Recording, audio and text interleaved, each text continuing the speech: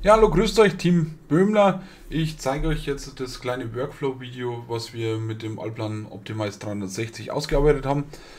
Das Endergebnis ist es natürlich noch nicht, denn wir wollen ja am Schluss noch schauen, dass wir den Report so erstellen, dass es für die Excel-Liste, für die Übergabe per Copy and Paste für jeden brauchbar ist. Das müssen wir natürlich in der Besprechung besprechen. Aber der Workflow, dass man zum Beispiel sich Räume anbaut, äh, die Beschriftungsbilder äh, ansetzt, die einzelnen Objekte mit einsetzt, die sich mit den Räumen verbinden und dann auswertbar sind, das zeige ich euch. Und das zeige ich euch an einem realen Projekt, weil rechteckige Räume kann natürlich jeder zeichnen und ich zeichne euch, ich zeige euch wirklich Step by Step, was ich gemacht habe. Ich habe die grundlegenden Schritte gemacht, das heißt, ich habe die Füllflächen exportiert vor der PDF. Ich habe die übertragen. Ich habe Sachen reduziert. Ich habe Räume gebaust, äh, gebaust, gebastelt und angebracht. Ähm, beschriftet mit großen und kleinen Beschriftungsbild. Ich habe die Raumnamen vergeben. Ich habe die äh, Funktionen vergeben und dann noch Türstopper, Heizungen eingebaut, einfach was mir jetzt gerade da eingefallen ist.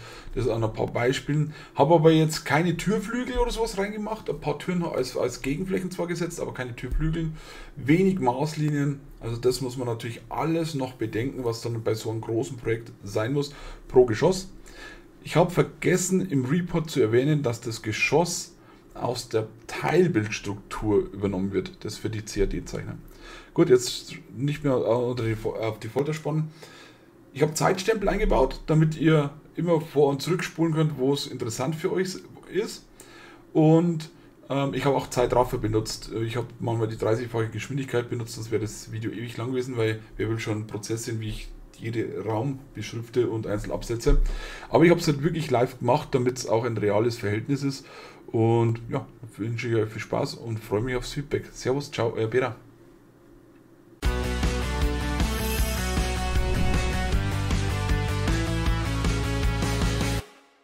Servus, grüßt euch. Ich zeige euch jetzt den Workflow.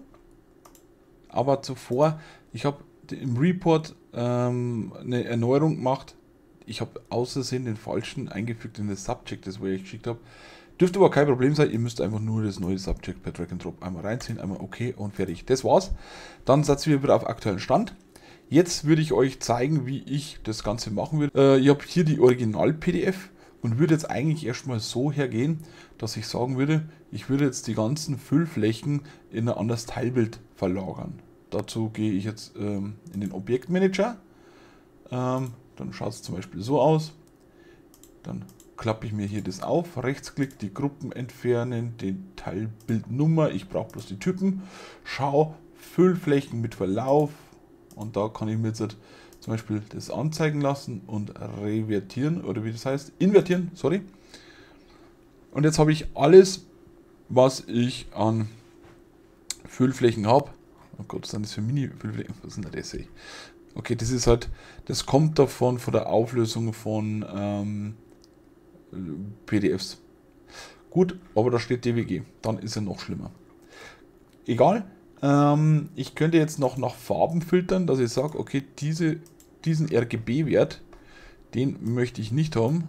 Den entferne ich einfach mal. Oder, ja, ich lösche jetzt einfach. Aha, ist dasselbe wie der andere. Gut, dann mache ich es lieber nicht. Dann machen wir es halt wie folgt. Wir übernehmen jetzt erstmal alle Füllflächen, kopieren das auf das andere Teilbild und dann entfernen wir, was wir nicht brauchen. Also ich gehe hier auf Füllflächen, zack, Steuerung C,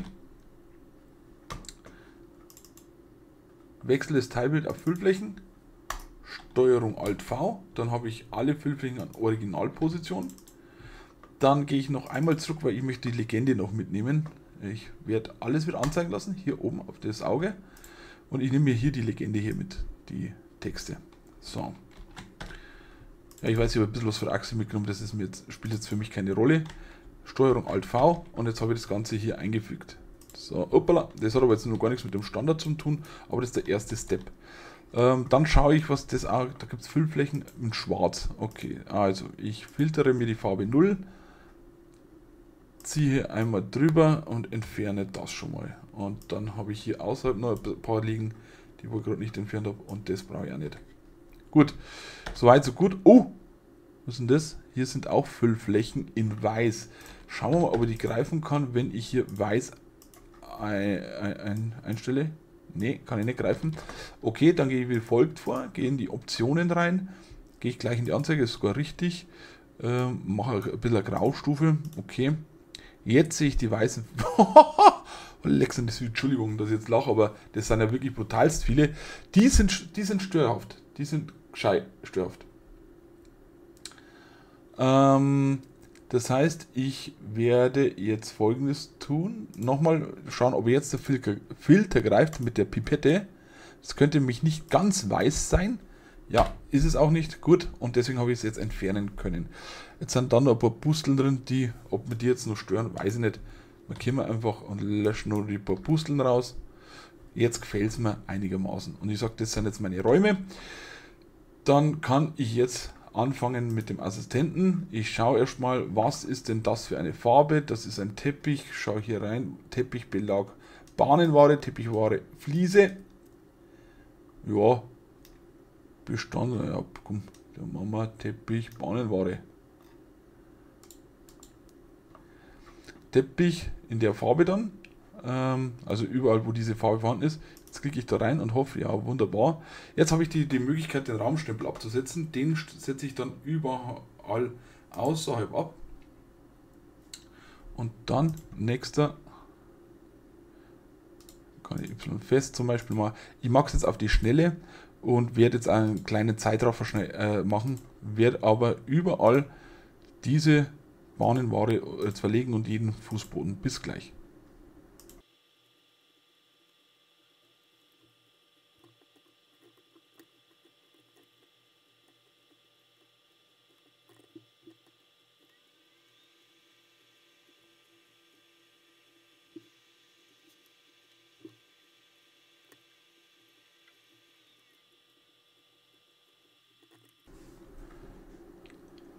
So, nachdem ich jetzt ähm, die äußeren Beschriftungsbilder abgelegt habe, würde ich jetzt reingehen und innen drin die Beschriftungsbilder absetzen. Das heißt, jeder Raum bekommt jetzt noch ein kleines Beschriftungsbild, damit eine Zuordnung, eine eindeutige hat. Damit gehe ich auf Beschriftungsbilder, klein, Einzeiler. Hey, was haben wir hier jetzt wieder gemacht? Beschriften. Achso, äh, ich müsste die Räume natürlich ins andere Teilbild bringen. Das heißt, ich war etwas dumm. Ich nehme nochmal die Füllflächen, verschiebe die um 100 Meter, nehme alles, was ich da habe, in Steuerung X, verschiebe das wieder 100 Meter runter, gehe in Räume rein, Steuerung Alt V, nimmt die Texte, Steuerung X, zurück in die Füllflächen, zack, bin jetzt in den Räumen zurück und würde jetzt die Füllflächen äh, auf Grau schalten und jetzt meine Räume beschriften. Das heißt, ich gehe jetzt Raum für Raum durch und sage, mein Raumstempel Einzeiler, den setze ich jetzt überall ab. Das heißt, ich kann den auch vertikal absetzen hier wenn es mal sein muss, ne? Ansonsten bleibe ich horizontal vielleicht unterwegs. Da ist dann die Nummer und der Raumname. Wir müssen uns bloß merken, wir starten von links nach rechts mit der Beschriftung. Ja, hier werde ich wahrscheinlich jetzt schon vertikal lieber absetzen, wegen Platz.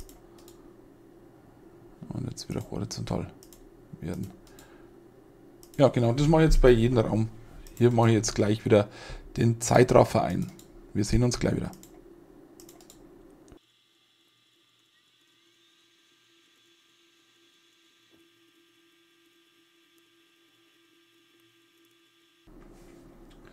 Genau, jetzt wo ich es habe, jetzt würde ich noch die Funktion Elemente angleichen oder ausrichten machen. Dann kann ich halt Beschriftungsbilder in eine Linie bringen damit. Schaut vielleicht bei manchen Sachen ein bisschen besser aus.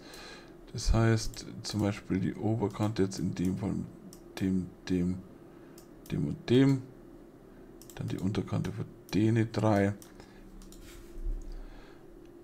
Die drei. Habe ich die schon in Einklang gebracht? Aber eigentlich müssten die links davon bündig sein. Auch die hier. Genau, so würde ich jetzt einfach kurz ein bisschen für Ordnung sorgen, dass es ein bisschen cool ausschaut. Ja, genau. Ich glaube, das schmeckt mir so.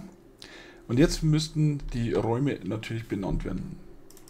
Ich muss jetzt schauen, ob das irgendwie im Original irgendwie angegeben worden ist. Welche Raum? Okay, 3009. Okay, die sind benannt. Das heißt, ich muss auch hier die Räume danach benennen. Also machen wir das hier mal grau, das hier rot. Und jetzt schaue ich einfach, was das für Raum ist und welcher Raumname. Und damit ich nicht jedes Mal so einen Doppelklick machen muss, das da überall reinschreiben muss, gehe ich jetzt wie folgt vor. Ich habe in der Bibliothek unter Büro Subparts habe ich dieses Attribute ändern.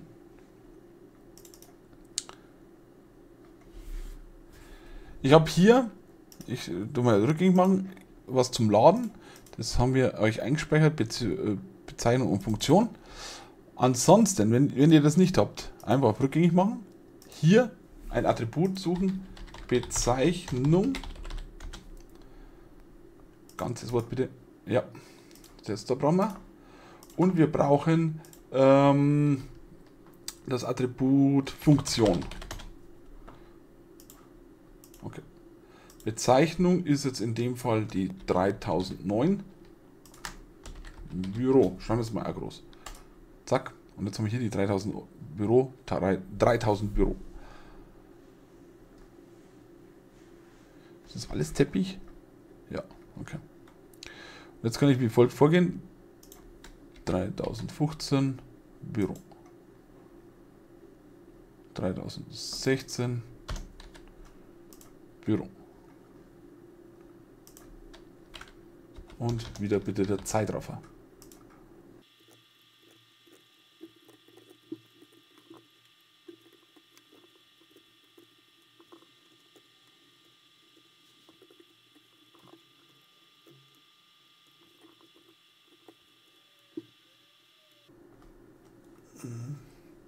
So. Jetzt glaube ich, habe ich alles beschriftet und übergeben an. Aha, der Sanoflor. Okay, den lasse ich jetzt einfach aus. Das Prinzip müsste ja klar sein. So, gut, jetzt haben wir das Zeug drin. Jetzt kommen natürlich die wichtigen Sachen mit Türstopper, der ganze Zeug, pipapo. Da weiß ich gar nicht, wie ich vorgehen muss, wie anhand ich was erkenne. Ähm, Brüstungselementen, hm, hm, hm, Abbruch, nicht tragende Wand. Ja, also jetzt können jetzt irgendwie, ich mache jetzt einfach irgendwas rein. Hier ist ein Aufzug, okay. Den brauchen wir aber nicht mit Bodenbelag belegen, glaube ich mal. So, jetzt kann ich das Ganze entweder so belassen, dass ich sage, okay, die Füllflächen habe ich ja abgefahren. So. Ich kann aber auch sagen, ähm, die Füllflächen möchte ich visualisieren. Gehe hier rein und hole mir den Flächenvisualisierer. Und hätte jetzt hier, kann ich zum Beispiel das Ganze anwenden. Hier sind aber da, Sachen dabei, wo er aber nicht erkennt wo er sagt, hey, Moment mal, ähm, wir haben ein paar Sachen im Angebot, die kennen wir gar nicht. Das heißt, ich müsste jetzt hier nochmal ein neues anlegen. Bodenfläche aus dem Wert Material. Okay. Die habe ich jetzt. Und jetzt könnte ich zum Beispiel das Ganze anlegen. Äh, da ich jetzt was abgelegt habe, muss ich einfach einmal rückgängig machen muss ich einmal rückgängig machen. Normalerweise, wenn ich alles aus dem Assistent nehmen kann, kann ich die hier nehmen. Ansonsten muss ich hier die Bodenfläche nochmal neu machen. Hier habe ich einfach die Möglichkeit, die einzelnen Farben anzuwenden. Sagen wir assoziativ. Yep. Und dann ist das Ganze jetzt hier abgespeichert. Ich kann auch nochmal neu machen. Zack. Bodenfläche. Material.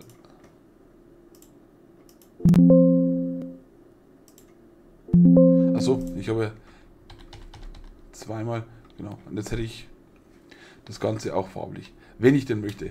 Ich kann aber das Ganze natürlich auch wieder rückgängig mal, wie man möchte. Wahrscheinlich reicht ja mir jetzt diese, dieses Füllflächen hier aus.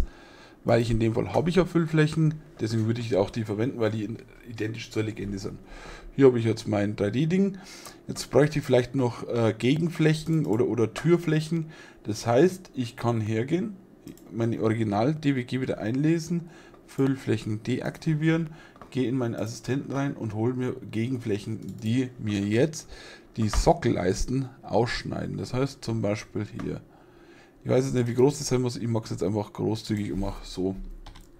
Prinzip soll klar sein. Genau. Das muss ich nicht beschriften.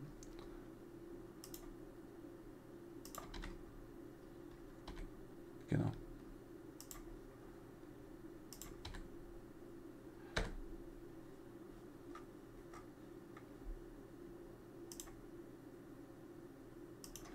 Das mache ich jetzt nicht bis zum geht nicht mehr. Da habe ich jetzt keine Zeit und Lust dazu. Ähm, aber man sieht, dass hier die Sockelleisten zum Beispiel ausgespart werden. Ähm, jetzt hat man es halt visuell im, im, Überblick. Und jetzt kommt das Subject zum Einsatz. Wahrscheinlich das intelligenteste Tool überhaupt. Hier Subject. Hier kann ich zum Beispiel einstellen Türstopper und sage ein Türstopper, Türstopper 1, hier. Schließen. Türstopper 2. Drehwinkel von 90 Grad vielleicht.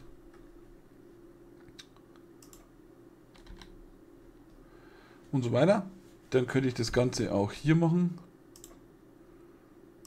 Türstopper 1. Türstopper 1.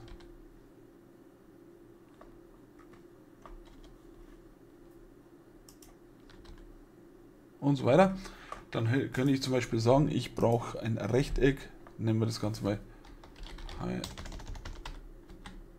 Heizkörper.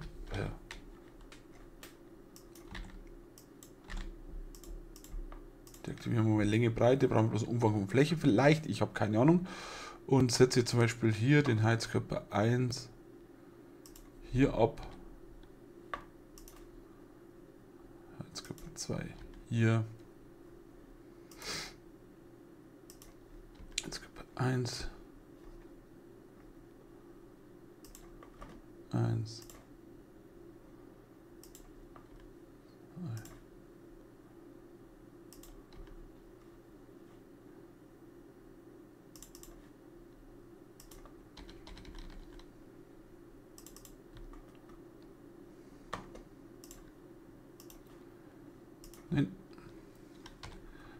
Also ich kann jegliche Sachen hier einbauen. Das heißt, ähm, ich könnte auch ein Punktsymbol zum Beispiel absetzen. So, 15, das macht das Ganze ein Kreis. 25. Ich brauche keine Fläche, aber den Umfang, Durchmesser, Stückzahl und sagen wir mal Säule.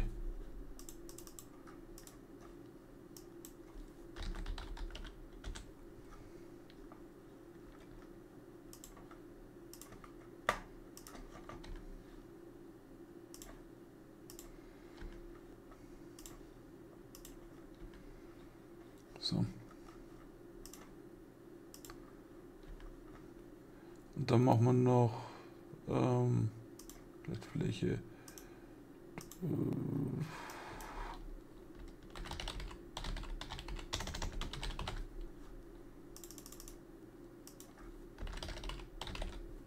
Im Flur. Ist jetzt wurscht. Machen wir hier noch seinen rein. Machen wir den in. 老子。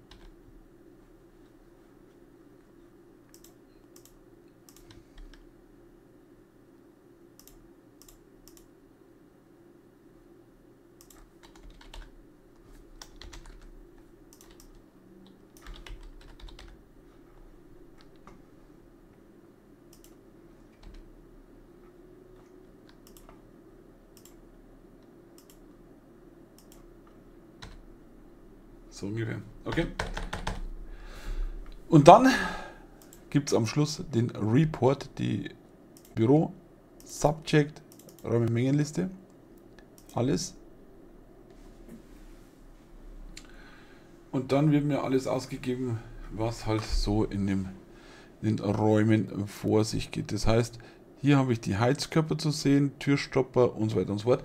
Was ich natürlich noch machen kann, Moment, bevor wir, ich kann noch ähm, 2D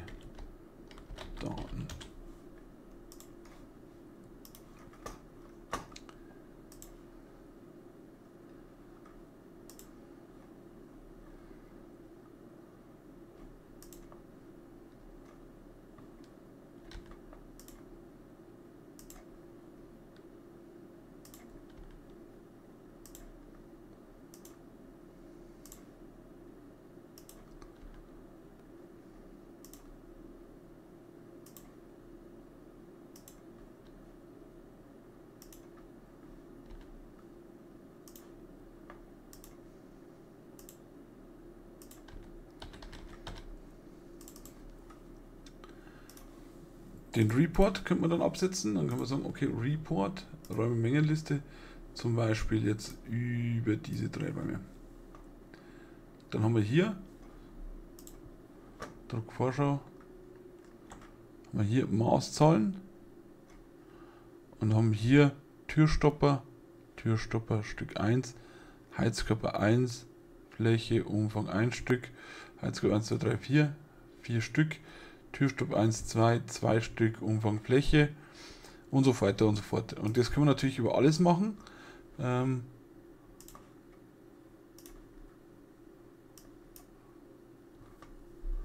Wenn ich jetzt diesen Raum auswerte, dann habe ich hier Bodentank rund ein Stück, zack, Säule 25 Umfang, 4 Stück, 1, 2, 3, 4, Bodenfläche Naturstein, Leiste, Sockelleiste. Genau, so wäre jetzt der Workflow und so könnte man das Ganze machen das, was man jetzt hier sieht, das wird ja dann sowieso, sage jetzt mal, als Planzusammenstellung ausgegeben. Ja, und mehr gibt es erstmal nicht zu sagen. Vielen Dank für die Aufmerksamkeit. Das wäre, das wär's.